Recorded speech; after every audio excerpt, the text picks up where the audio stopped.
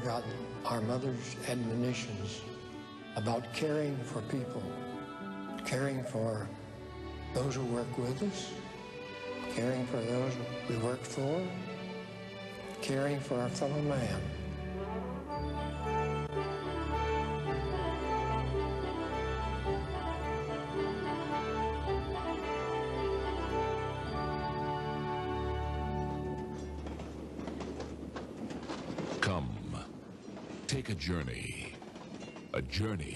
Through time.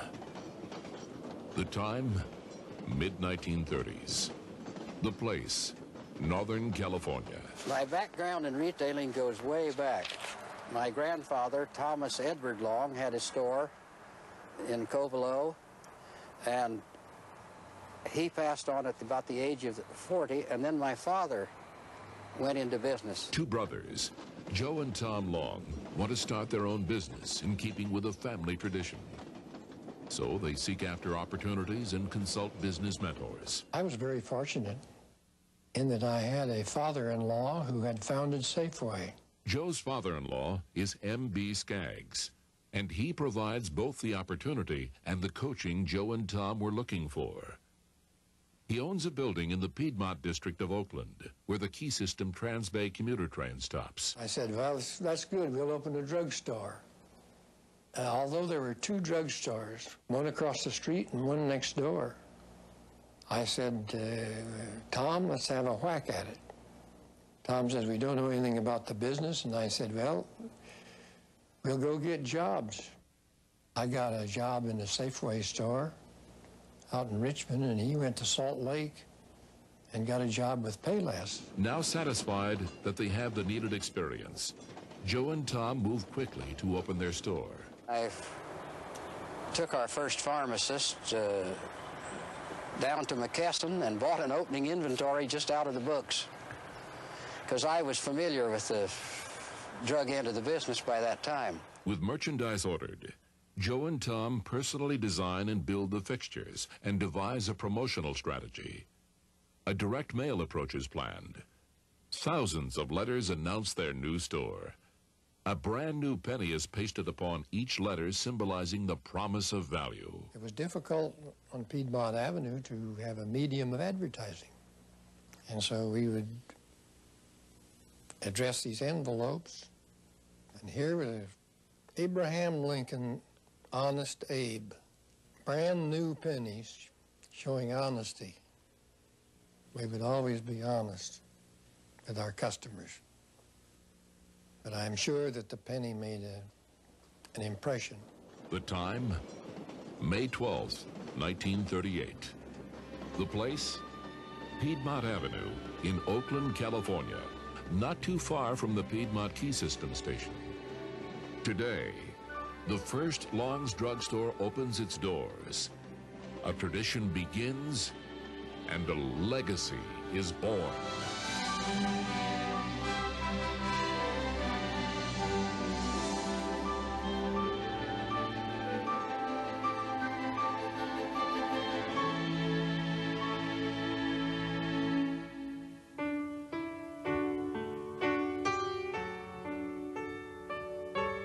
First Long's ad appears on the front page of the Piedmont District Bulletin. It introduces Long's new logo and it tells customers of another difference. Long's is a self-service drugstore. The items are different too, at least for a drugstore. Long's will be operated like a general store with a pharmacy and the prices. Everybody said we'd go broke, but we didn't.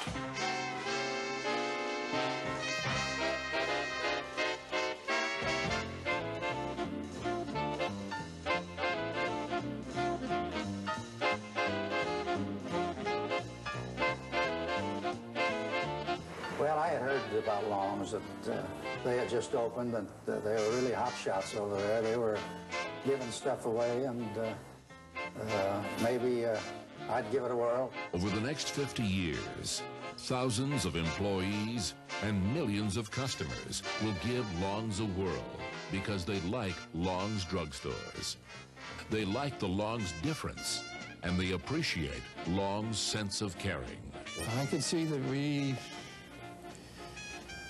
we're going to make it immediately. The main theme that we've always stuck with were the principles that my mother and Mr. M.B. had, and that was that you care for your customers, you care for your employees, and you care for your suppliers, and you pay your bills on time.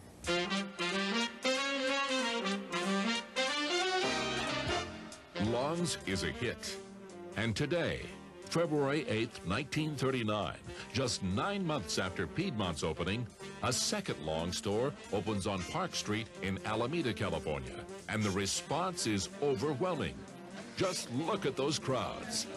This new store is bigger. It features a wider variety of merchandise. And it has a soda fountain.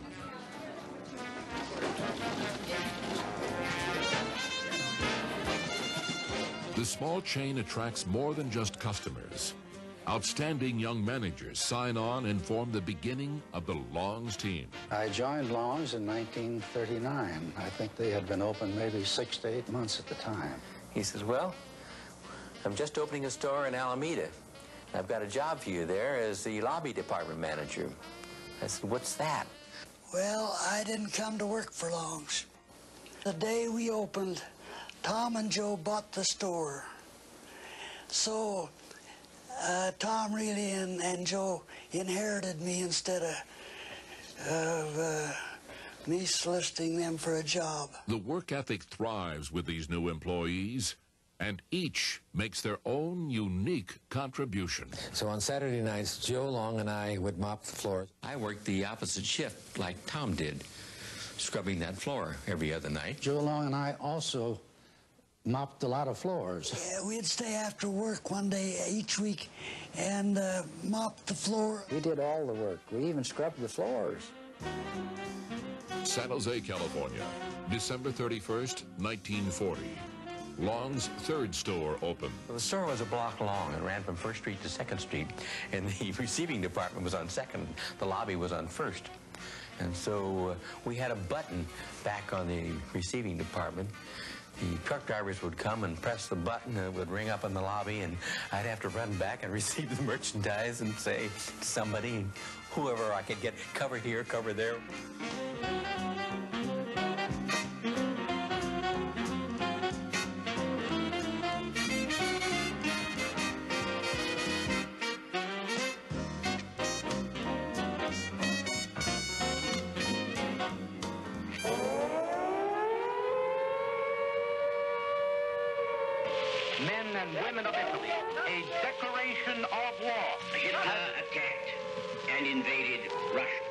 Japanese have attacked Pearl Harbor, Hawaii by air. States which will live in infamy.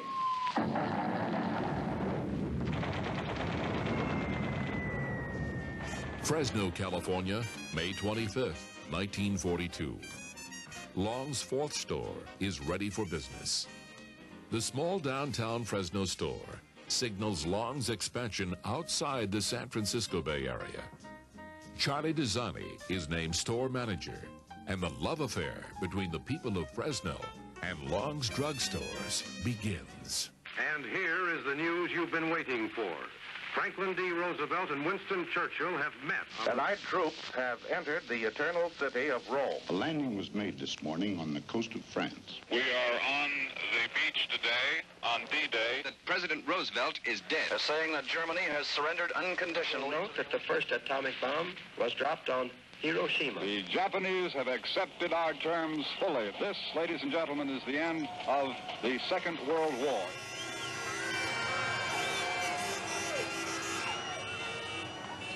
December 1946, Alameda, California. Long second store in Alameda opens on Webster Street. Store number five. That was really a deal opening that store because right after the war, we couldn't get the lumber to build the fixtures. So I opened that Webster Street store with just a scattering of fixtures.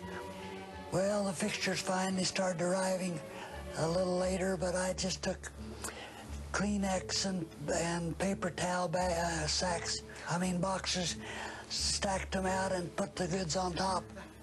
And that's the only store in the chain that ever came out in the black within uh, 90 days.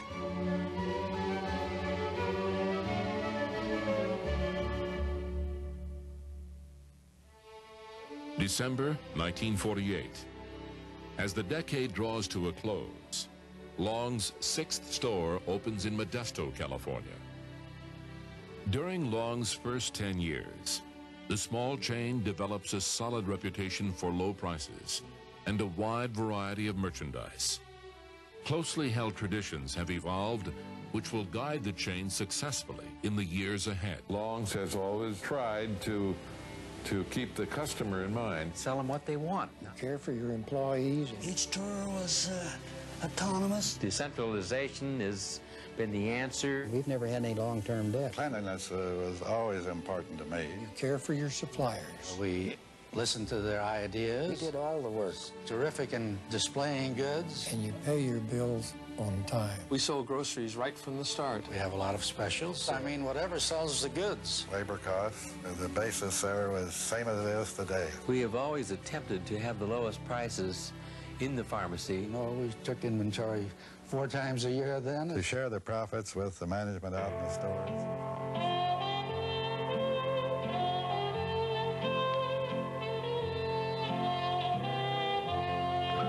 Yes, I lost my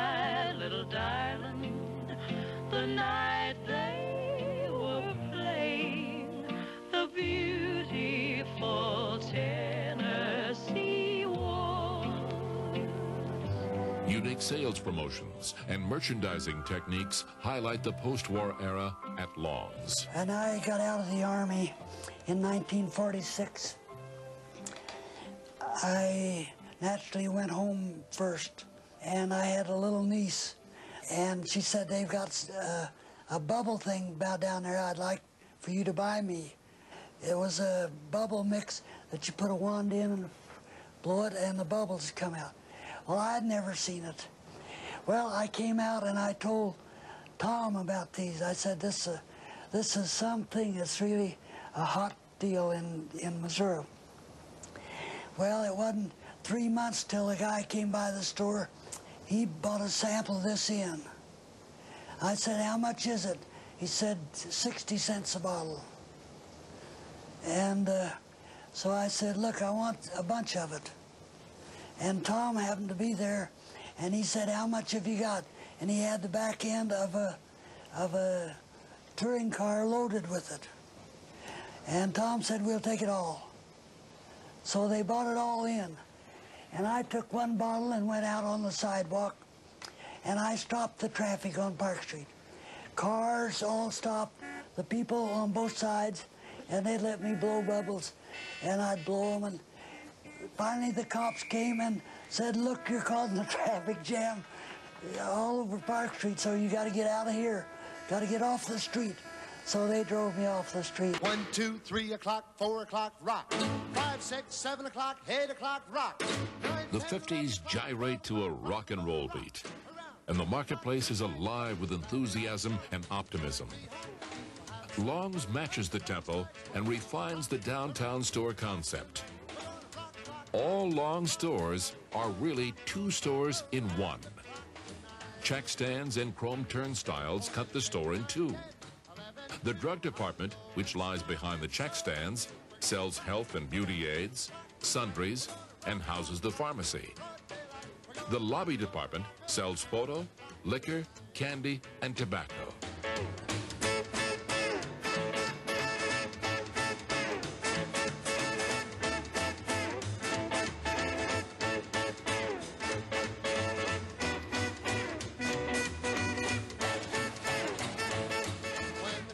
Downtown stores reached their peak in the mid-50s. These stores achieved success which most thought impossible in the early days of the company. Creative merchandising contributes to the allure of Long stores. Well, I mentioned this to Tom Long when I was on Webster Street. I said, for Easter, I think I'll dye a bunch of chicks.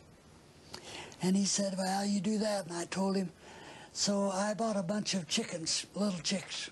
Tom and Billy came out and they wanted to help me dye the chicks.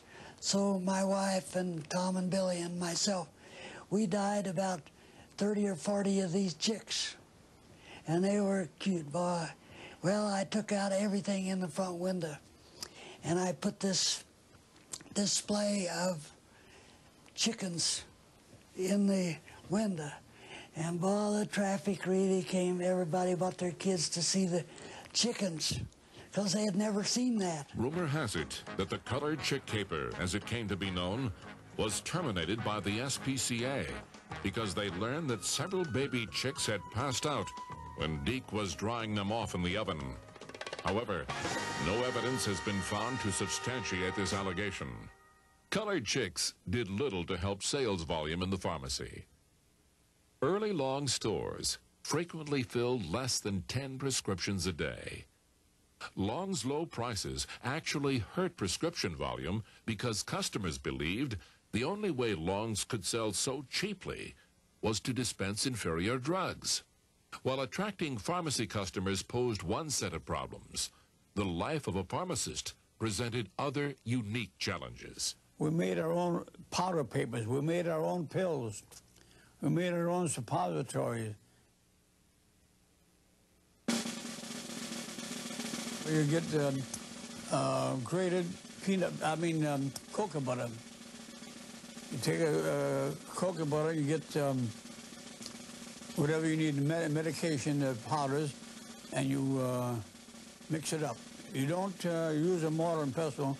You mix it up uh, uh, manually with a spatula so that is um, uh, separated, divided evenly.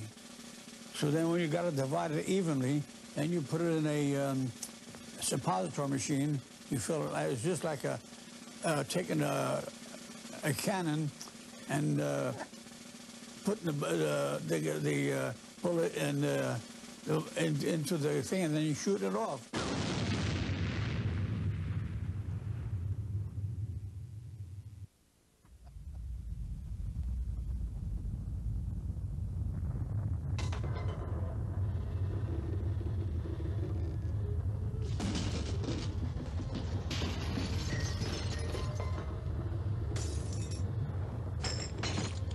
An interesting thing was that Joe Long had been there the morning of that earthquake uh, with, with in Bakersfield, and I took him to the airport. And when that quake hit, I dove for the, under the desk, and everything was shaking, and the, the, all the liquor was coming off the shelves, all the cosmetics. We had lipsticks, uh, cold cream, uh, foundation lotion. We had hair dyes all on the floor all we had a mixture of, of uh, you know we had a mixed drink on the on the floor rolling out the to the sidewalks. All the glass was broken. It really shook the whole place.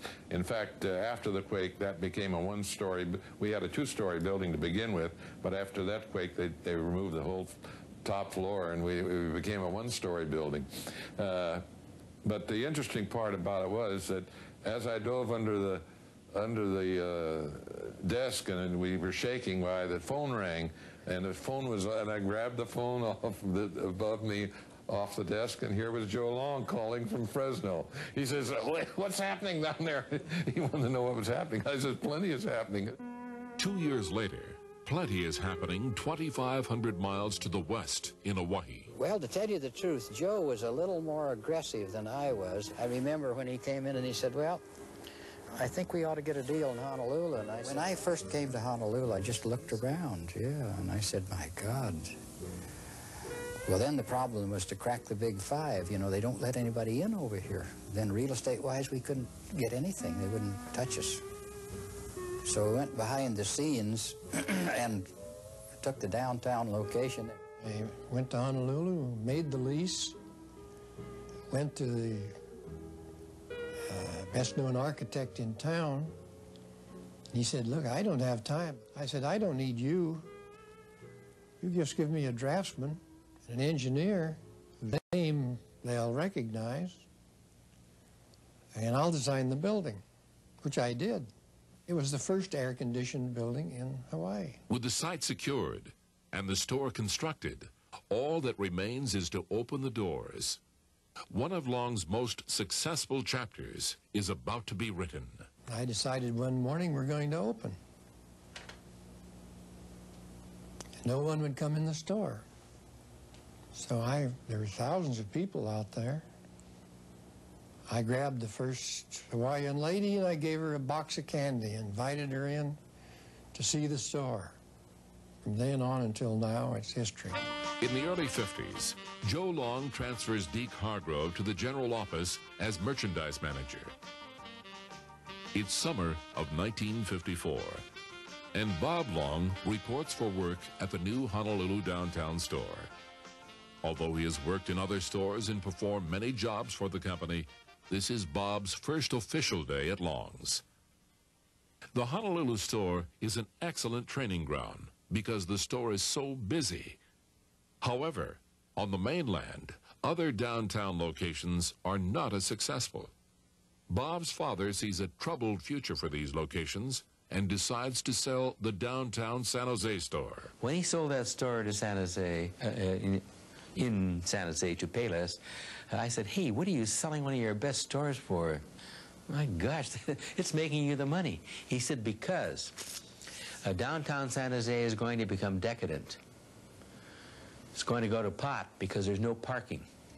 Shopping centers are going to be the answer. Until we opened in Manchester and National City, there wasn't anything as such as a shopping center. In the early 50s, other changes catapult the small chain forward. Long's general office has outgrown its first location above the Bank of America across the street from our Alameda Park Street store. The GO, as it is now known, moves to Oakland above Andresen's furniture store. At about this time, Joe and Tom restructure the executive ranks in Southern California and appoint Joe Stratton division manager. Used to leading the way, in 1956, the founders unveil Long's profit sharing plan. We were one of the first to ever have profit sharing. I just told Tom that uh, in order to keep incentives, we're going to have to uh, share the profits with the employees. And I said, I figure that about 40% of our profit has to float back to our employees and shareholders in different forms.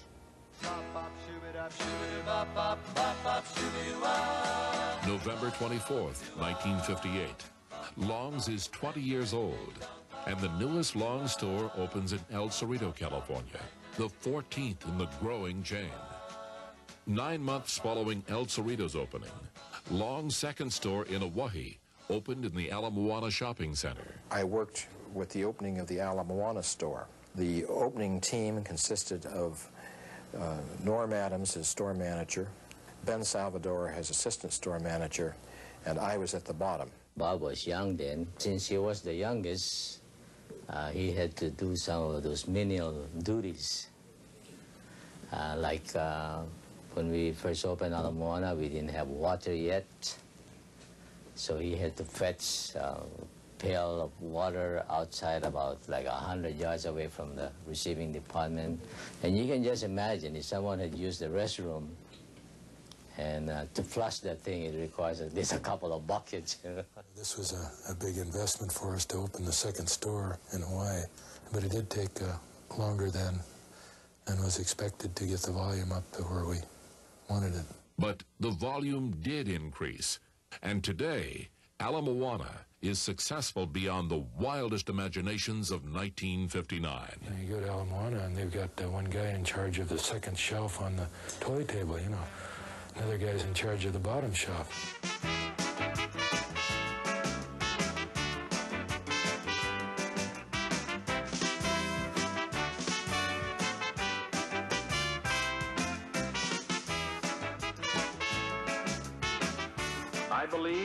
Nation should commit itself to achieving the goal before this decade is out of landing a man on the moon and returning him safely to the earth. A new vision captures our attention as the hopes and aspirations of the 60s create a new idealism. Longs keeps pace and prepares to meet opportunity in the decade to come. During the next five years, the founders recruit an outstanding group of potential new leaders.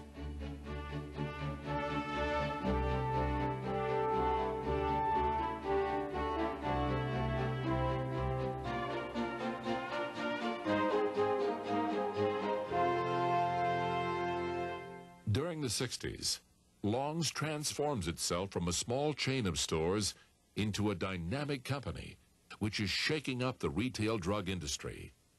In 1960, Joe Stratton moves to the GO and brings uniform excellence to Long stores. I, I always uh, stress good housekeeping. Uh, whether I was managing uh, a store with a couple of department managers, I emphasized it with them.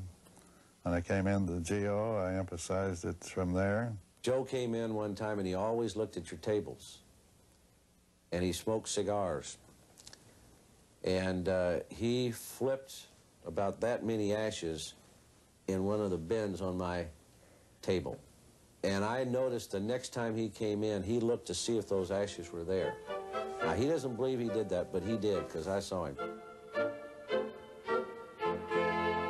In 1961, Joe and Tom decide to sell stock in the company. We went public for one reason, and that was to give our employees a chance to share in our success. Accelerated growth means change, new opportunities, and the establishment of new traditions. Change comes in the form of larger stores and in the demise of the two-department Long's drugstore. On February 2nd, 1962, the new C&O store opens in Fresno, and the division between lobby and drug is gone. Another change occurs in 1962, which gives birth to a new tradition. Ron Plumgren recalls a phone conversation with Joe Long one week after the opening of the Fremont Hub. I said, Joe, I just was down on the floor and walking around, and the people that are carrying the yellow page tabloid in the store, and in those days we weren't smart enough to have extra copies printed that we could hand out. Uh, but they were in, and they had circles, you know, they had circled items. And they were going up and down the aisles looking for him, but they were carrying this piece of paper. And Joe said, uh, well, now what kind of an ad are you going to run next week? Another tradition continues. Since the late 40s, Joe and Tom have invited their managers to Lake Tahoe as their special guests. Until the late 70s, these gatherings convened at the Long's cabin. The meeting at Lake Tahoe has become special to the managers of Long's drugstores. We just plain had a lot of fun. Number one, uh, the, the business part of the meeting was, was important, and uh, I think they did a good job with it, but it was not very long. It was R&R time. My first trip to Lake Tahoe was in 1950. It was great. You'd wake up in the morning with the smell of breakfast cooking from the kitchen. And, and Joe Long would be cooking bacon and eggs. The second night, Joe Long would have a roast prime rib cooked for all of us, and Joe Long did all the cooking. Then we'd have our crap games. Fun and games have always been part of the Tahoe experience. Tom Long and Deke Hargrove, however, couldn't pass up the opportunity to make a little money from the gambling that went on. Well, finally, Deke and I said, well, we'll deal this. We'll run the table right here. So he and I set up a table and we banked it. Now, this is something for you. We said, we'll bank it. You can place your bets, whatever you want, and so forth, because we figured we'd keep the money in the house instead of letting it get up in the casinos. So we ran a crap table mostly because it's faster action. Remember one of the store managers brought a new Cadillac up to uh, the lake, and inevitably, why somebody had to uh, put one of these uh, uh, bombs inside of it so that it would make like it was, it was falling apart. I even brought along one year a, a whoopee cushion, and uh, I set that underneath where Al de Benedetti was to sit down. And I was disappointed when he, instead of it working when he sat down, he broke it. Until the mid 80s, the managers at Long's continued to prepare their own food. Steve Roth displayed a rare talent as the company chef. And we cooked breakfast uh, at 6 o'clock in the morning for up to 170 managers and another two or three dozen from the office that uh, came along. And uh, the first morning we had uh, French toast. The next morning was Eggs Benedict, and the following morning muffins and eggs. But every morning was uh, a ball. The Tahoe experience has done much to meld the managers into a single group and to heighten the feeling of family within the company. We'll usually end up being closer. Like we, we gather as a group over there, we talk stories, we eat together, we play together, and even if for such short period, the camaraderie that we have becomes uh, just like a, a bonding thing. Growing number of stores impacts the general office during the 60s. The GO has grown both in size and in the services it offers to the stores. Joe Long hires Sam Axtell to assist him with real estate and to serve as permanent in-house counsel. For the first time, Long's has an entire building devoted solely to office space as the GO moves from above a furniture store on Broadway to Claremont Avenue in Oakland. The following year, NCR installs Long's first computer. The annual report makes note of the installation and calms potential stockholder fears. And we quote, We consider it a minimal computer operation and will be very careful not to extend it too far into our operations for fear that our personnel may develop a tendency to depend upon it too much. Within five years, the general office will move again to a larger building with a bigger computer room.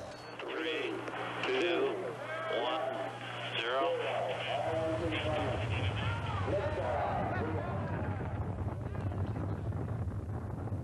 Tranquility Base here. The Eagle has landed. Toward the end of the decade, the founders prepare to launch the company on its own exciting journey. The plan is to open as many as 10 stores a year over the next 10 years. New pharmacists are needed to sustain such growth, so the founders make a major contribution to the University of the Pacific. Tom and I knew that as we grew that we would run into a shortage of pharmacists. So we built a pharmacy school at the University of Pacific. Planned expansion and cramped quarters prompt the founders to again move the general office. I got called in uh, by Joe Long to uh, uh, help uh, assist in the location of a new general office.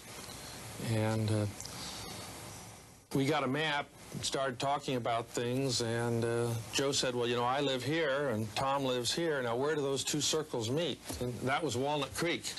And, and uh, at least that's my story of how we got to Walnut Creek.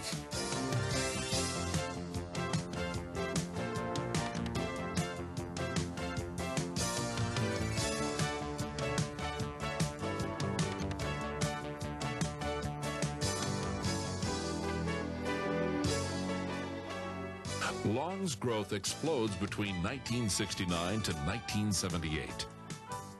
78 new stores are built. The company continues its evolution as a major force in retailing. In this decade, the leadership passes to a new generation of Long's executives. New states are added to the roster of stores. Long's attracts new investors when Long's stock trades on the New York Stock Exchange in 1971 and new programs and services are offered to Long stores. Uh, at that time, I was appointed to be district manager for the Northern California district, which stretched at the time from Capitola on the south uh, to Chico on the north, excluding the uh, East Bay. Uh, I served under uh, Joe Stratton uh, for those two years and for uh, some additional years as well.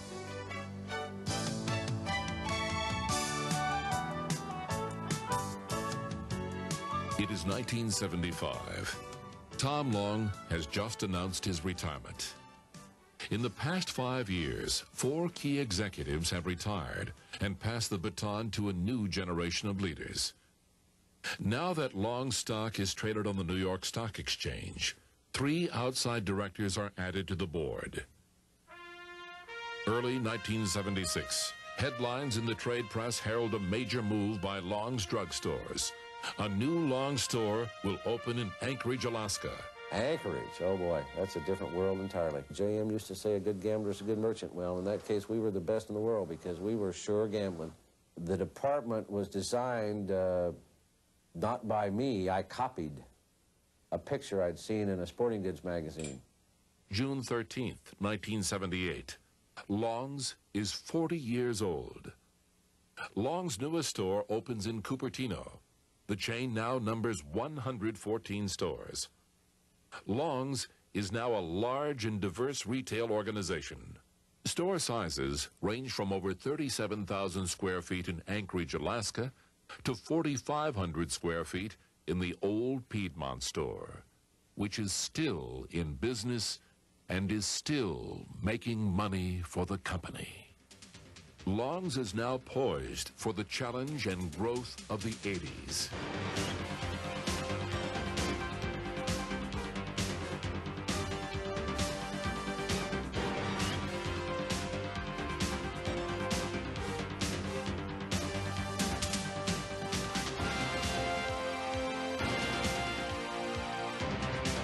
1979 to 1988 is a decade of complexity, and retailing in the 80s challenges even the very best at Long's. It's harder to be a manager today, I think. Uh, competition is much tougher. It's better. Now you're being second guessed by a lot of people in a lot of different agencies, and I think it's harder. I think they have to be sharper, they have to work harder. The people of Long's, both in the stores and at the general office, together fashion a montage of programs, innovations, and responses to the business environment. This is Long's in the 80s.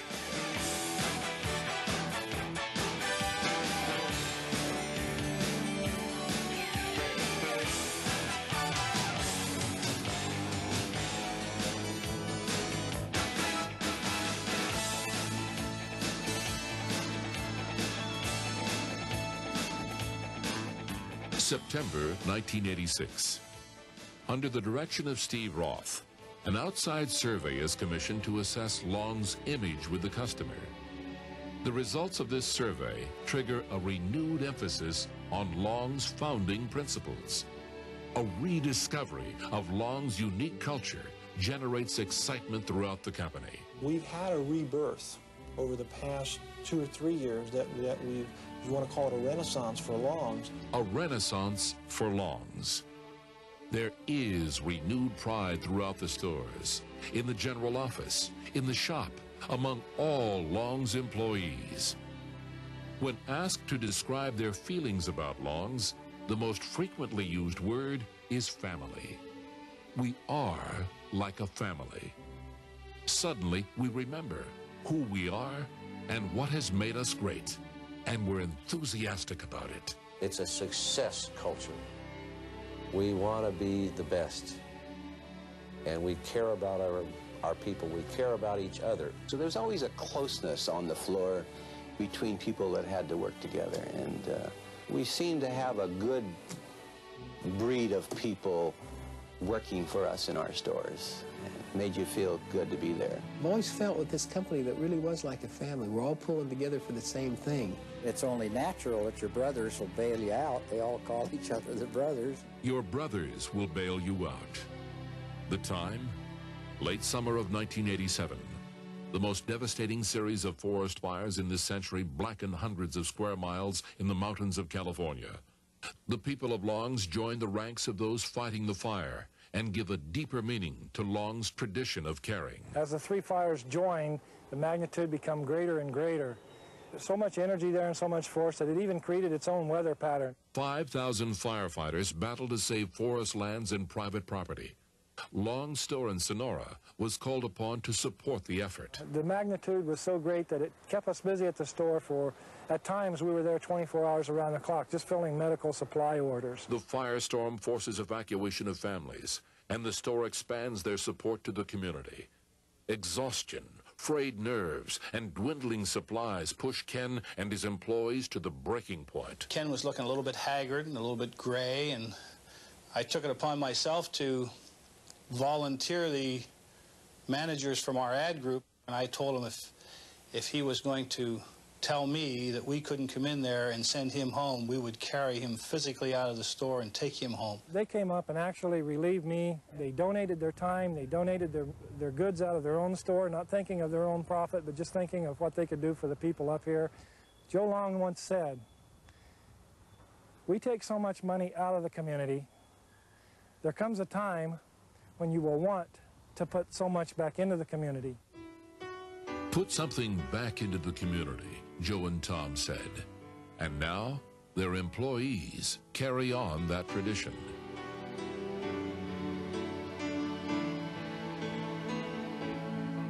Mickey Rebecki, store manager at Long Santa Cruz, is giving back to the community through an organization called the Dragon Slayers, which assists the handicapped. Okay, I remember it was in 1984 that I first came out to the ranch here.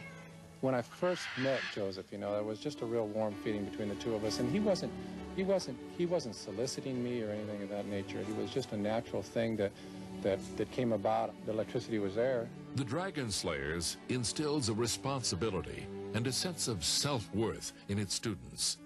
Animals play a very important role in the therapy. So the two of us kind of put together a, a way we can make some money to pay for some of the feed bills and the other things that go on here. And I think working for Long's Drugs enabled me to do that because it's always been a caring company. Mickey and Dragon Slayer's founder, Joseph Rivers, organized a fundraising project in the store parking lot, taking pictures of children on the back of one of Joseph's ponies. Later, all four stores in Mickey's ad group sold tickets to the county fair, donating the proceeds to the Dragon Slayers.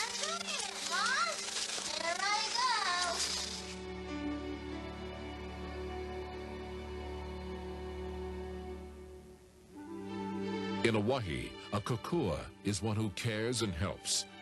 In 1985, a whole island needed help when Hurricane Iwa smashed into Kauai. Under the direction of store manager Len Pakili, Long served as a kokua to the people of Kauai. I did not realize how much damage this hurricane could do. I guess if anyone asked me if, uh, have you ever been close to a nuclear disaster, that's probably what I would envision it looking like. The people of Kauai knew disaster was headed their way. In a wave of panic buying, shoppers clogged local stores, and some merchants took advantage of the situation. Some people were grumbling and saying that certain stores were like jacking up the prices, you know. We weren't here to make money.